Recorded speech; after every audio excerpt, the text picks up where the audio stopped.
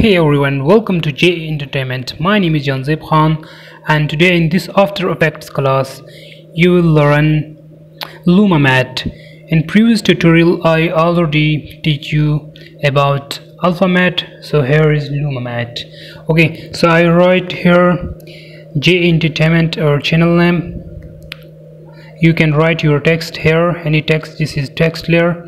Okay, so let's start now pick any image or you can also use video. You can also use any video or text instead of this. You can also use any video or image instead of this text okay? So now here is text and now I'm dropping any image here like this one. So I drop I will drop it below this text. So here you can see here written is none. If you don't see it you can click here and toggle switches mode is here like I clicked here so nothing showing. If you're not showing like this then click here. So this near this layer below text layer which is image layer so near this layer here is none. So click this and click LumaMatte to these text here is text name already written which automatically detected. So click here. Now you can see the trans the lighten area of text showing this layer or this image throughout. So this image is showing through this light area of uh, text. So this the way it's called luma matte. Luma means light. Okay. Now this can also be done with alpha matte but luma matte also have this feature. For example i'm again making it none and now i'm dropping any other image like uh, I already imported here. So I will drop this one. I captured with my phone. Right. Uh, yeah this one will be good. Yeah okay. So I dropped here.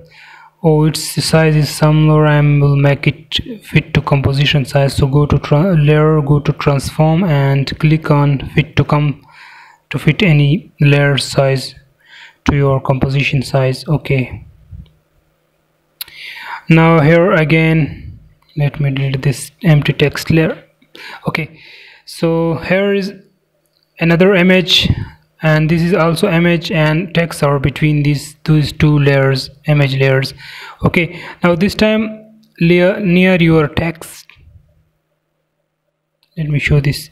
Near your text click now you can see the text are showing and text also this layers are showing through text this the upper layer and also the other images showing.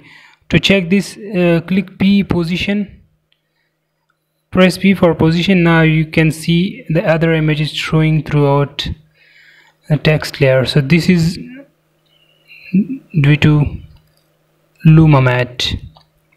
Okay so with this you can you make cool transition between your videos layers with luma LumaMatte.